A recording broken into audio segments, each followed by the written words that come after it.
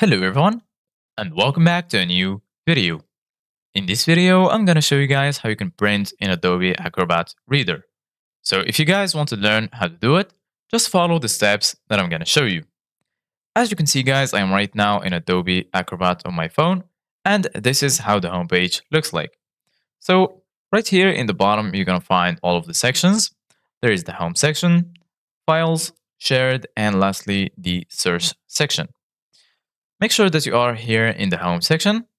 Then right here, you're gonna find your recent files, your stored files, and so on. And right here in the bottom right corner, you're gonna find this little plus icon.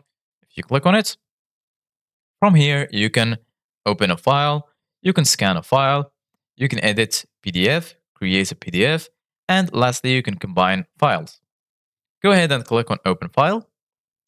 And then right here, as you can see, guys, you need to select a file to open. You can select it from your recent files on this device, Adobe Cloud Storage, Adobe Scan, Google Drive, OneDrive, Dropbox, and you can also uh, download PDFs from emails.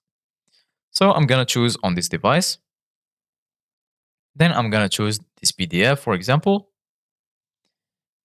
And then you're going to be right here in the reader we're going to just click on skip.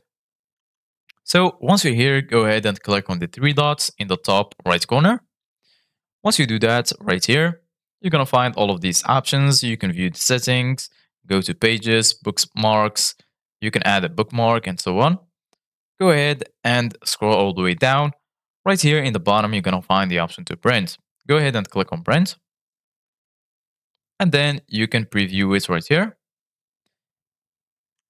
And right here in the top, you're going to find Save as PDF or all printers.